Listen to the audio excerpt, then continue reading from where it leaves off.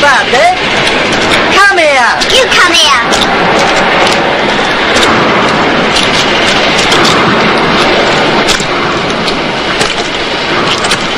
It's yours. I use it to keep things in.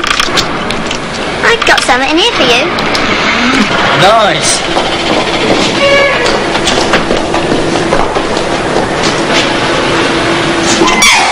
Jesus Christ. Nasty, isn't it? How did he get in there? I put him in there. Why?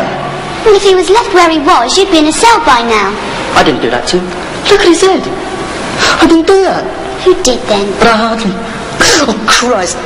What are we going to do? Dump him off. Where? Well, you bring your brother's van round tonight and we'll go and stick him in the quarry. No. Leave him there then.